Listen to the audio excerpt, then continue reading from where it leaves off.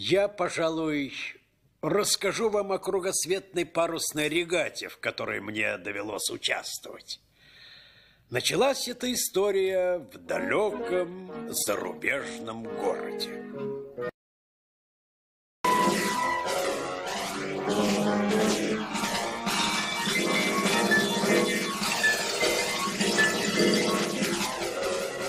Ло, а почему мы сидим в такой неудобной позе?